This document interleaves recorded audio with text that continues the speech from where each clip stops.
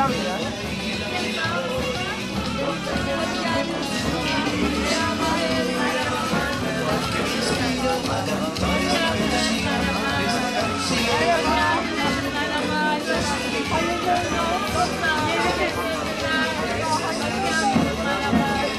Bu güzel tesisin sizlerin katılım göstermesiyle ve bundan sonraki süreçte kullanmasıyla bir mana ifade edecek.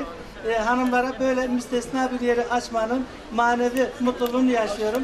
Ee, tekrar teşriflerinizden dolayı çok teşekkür ediyorum. Hoş geldiniz. Hayırlı uğurlu olsun diyorum efendim. Ben belediye başkanımıza teşekkür ediyorum. Hanımlar Lokali adı altında Antakya Belediye'mizin önemli bir hizmetini açıyoruz. Ancak şunu da vurgulamam gerekiyor. Hanımlar Lokali daha çok örneklerini biliyoruz. İlimizde de başka illerde de. Böyle şehrin biraz daha geri kısmında, biraz daha böyle kenar kısmında falan olur.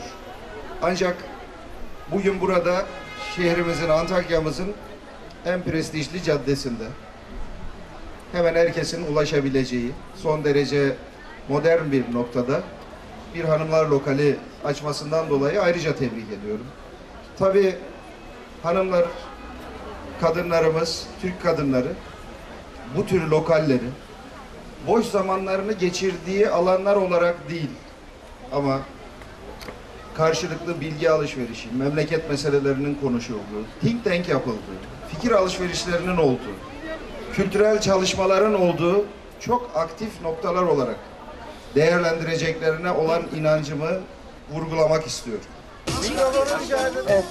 Hayırlı uğurlu olsun. Ya Allah bismillah.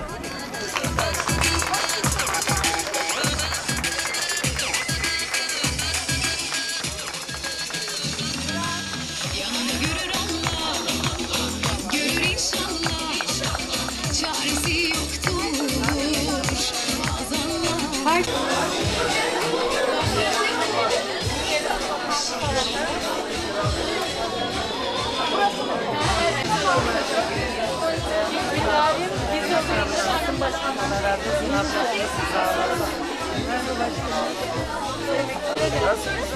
Ne var ne yok? Nasılsınız abla?